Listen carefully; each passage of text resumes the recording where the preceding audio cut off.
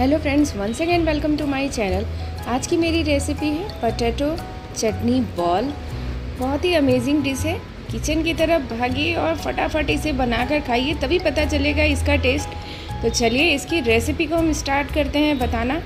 तो यहाँ पर मैंने एक मिक्सर जार लिया है और उसमें डाल देते हैं आधा कप डेसिकेटेड कोकोनट अगर आपके पास फ्रेश नारियल हो तो आप उसे भी यूज़ कर सकते हैं. यहाँ पर मैं ले रही हूँ धनिया की पत्ती को. बिल्कुल फ्रेश है ये। धोकर डाल दिया इसमें। आधा इंच जिंजर डाल दिया मतलब अदरक। और साथ में डाल दिया हरी मिर्च को। चार से पाँच ले लीजिए। काजू डाल दिया है मैंने यहाँ। थोड़ा सा क्रंची टेस्ट आएगा। और लास्ट में डाल दिया है लेमन जूस एक चम्मच के करीब। सबको हम अच्छे से दरदरा पीस कर तैयार कर लेंगे। तो ये देखिए, ये मैंने यहाँ पे कोर्सली बिल्कुल तैयार कर लिया है पीस कर। और अब इसमें डाल देते हैं चीज़ को ग्रेट करके। मैंने यहाँ पे प्रोसेस्ड चीज़ लिया है। और इसको इसमें ग्रेट करके डाल देते हैं। अगर आपको मोज़रेला लेना हो तो आप वो भी यूज़ कर सकते हैं यहाँ। बहुत ज़्यादा चीज़ भी हम नहीं डालेंगे इसमें। सबको मैंने अच्छे से मिक्स कर दिया।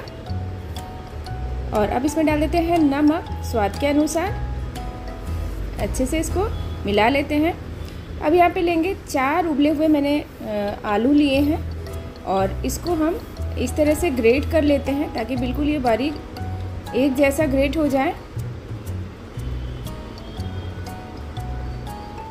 तो यहाँ पे आलू को मैंने ग्रेट कर लिया है, डाल देंगे इसमें लाल मिर्च का पाउडर एक चम्मच के बराबर, और थोड़ा सा इसमें जीरा डाल देते हैं। खड़ा जीरा यहाँ पे मैं डाल रही हूँ।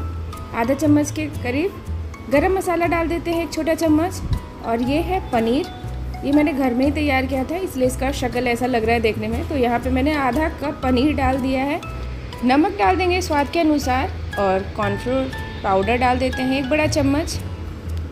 सबको हम अच्छे से हाथ से मिक्स कर देते हैं ताकि मसाले सब मिल जाएँ।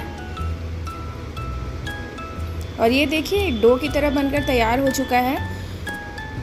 तो अब हम यहाँ पर जो हमने स्टफिंग बनाई थी, चटनी बनाई थी, उसके ऐसे बॉल्स बना लेते हैं और आलू की टिक्की के अंदर हम इसको फिल कर देंगे। ये देखिए, आलू का जो हमने टिक्की बनाया हुआ था, उसके अंदर इसको फिल करके, भर के, इसको बॉल कर बिल्कुल रूप दे देंगे। इस तरह से बनाकर तैयार कर लेंगे।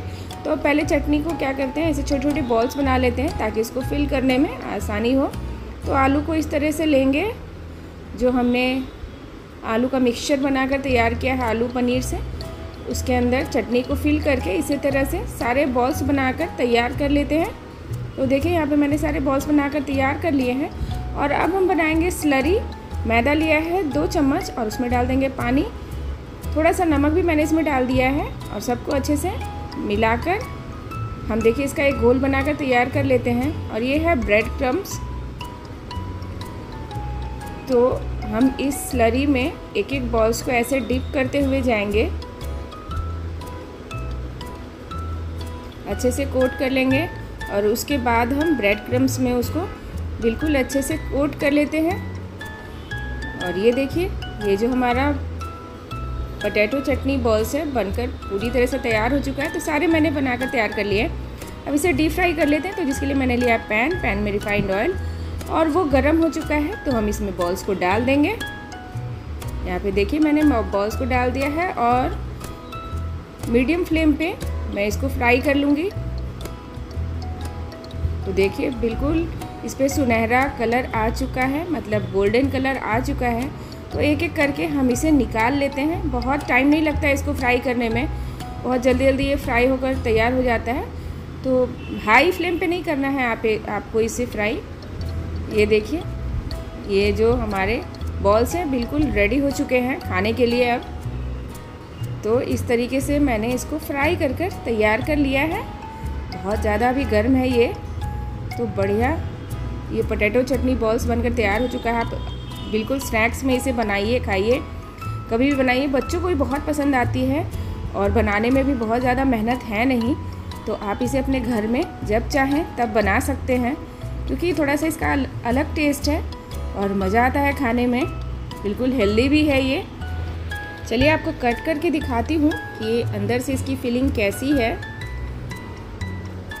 ये देखिए। बिल्कुल ऊपर से क्रिस्पी है और अंदर से सॉफ्ट है। ये देखिए, चटनी जो हमने बनाया था तो बिल्कुल इसकी फिलिंग दिख रही है अंदर से। तो अगर आपको मेरी आज की रेसिपी पसंद आती है तो वीडियो को लाइक, चैनल को सब्सक्राइब करना ना भूलें। तो मिलती हुई एक और नई रेसिपी के साथ। तब तक के लिए टेक केयर। बाय।